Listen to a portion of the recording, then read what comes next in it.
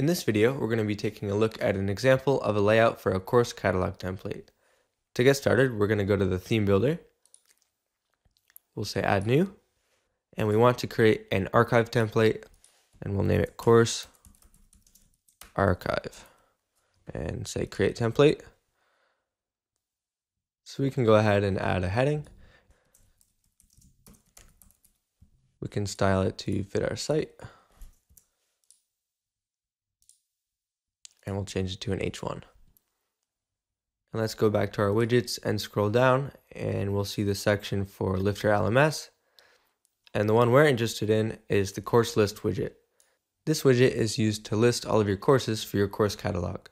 You can see one of them is showing up in a little card right here. And it looks a little bit different than the default Lifter LMS look.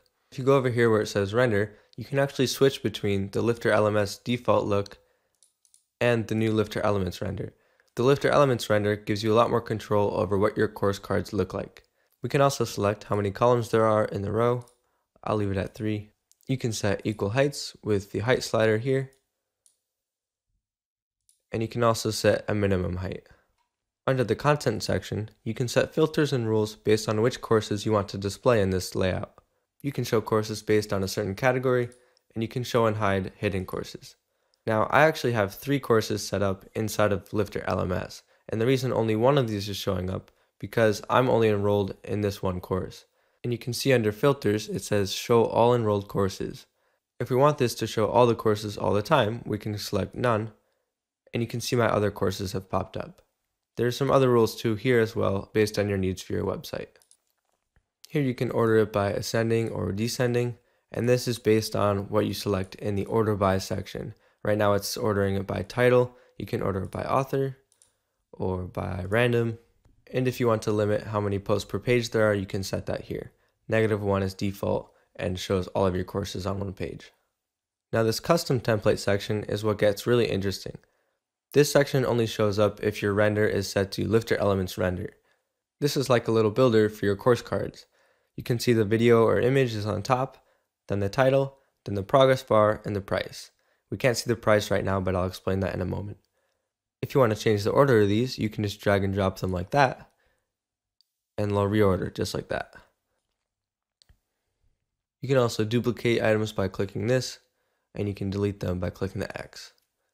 If you want to add an item, at the bottom here you click Add Item, and under the element type, this is what lets you choose which element you want to display. So maybe we'll display a course link. And all of these items have their own little options that you can tweak, such as the HTML tag for the title, progress bar height, showing the progress percentage or steps next to the progress bar. And under price, you can see that our prices are not showing up. The reason for this is because the plan that's being displayed is the first featured plan, and I don't actually have a featured plan set up on any of these courses. So if you want to change that, you can just click first plan and there you go, my prices are showing up. You can also change the output style of the price, whether or not you want to show the price or the frequency or both, based on how you have your prices set up in Lifter LMS. Under link, we can actually change this to a button. We can add our own custom text. We can add an icon and change the positioning of it, and even the hover state. In order to have more control over the style of all these elements, you can go up here to Style, and you have tons of options to edit the styling of your course cards. For example, a background color, border radius, maybe a little box shadow, and you can change all the typography styling like you normally can in an Elementor widget. We'll add some color, maybe decrease the size a little, change the price color, and then some of the items have their own styling options, like the color of the progress bar, the button color, and just like that, we have a great looking course catalog template that matches our website. To apply it, we'll go down here next to publish, click the arrow, click display conditions, add a condition, and we'll say course archive and save and close.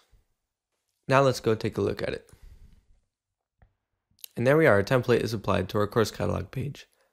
Of course, there's so much more you can do with this plugin, but at least this will give you a good start with the course list widget, which is a pretty essential part of your course catalog page.